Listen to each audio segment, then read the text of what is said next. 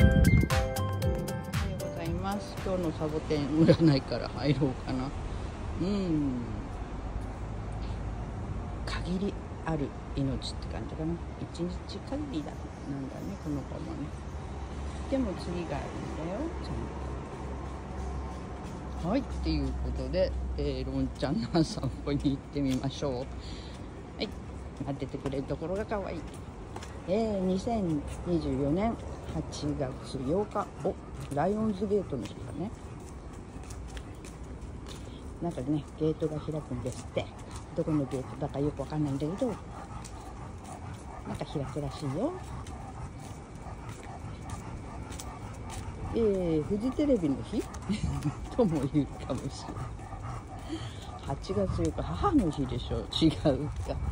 えー、っていうことで、えー、15歳と6ヶ月と15日かな。と思われます。もう半月経ってるんだね。はい。えーと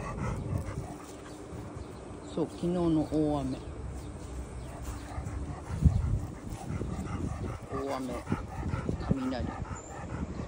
すごかったよロンちゃんちの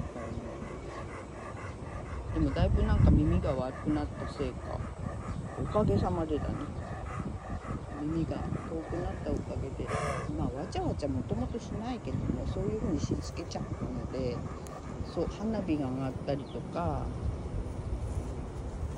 雷が始まったりした時にいいことが起きると大して気にならなかったりとか。ね。そう。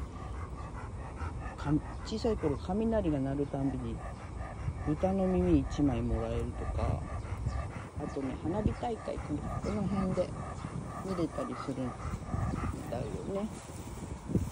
亀戸中央公園の花火がこの辺で上がるのでよく連れてきてね。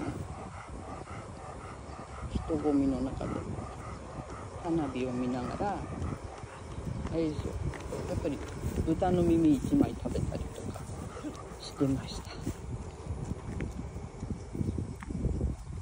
もともと何ていうのかなおおらかというのかあんまり細かいことは気にしないタイプなようなのでちょっと助かっこの子に関しては、うん、助かってますはいっていうことで、えー、今日も暑くなることを予想しながらね、今日も元気にいってらっしゃい。じゃあね、またね。バイバイ。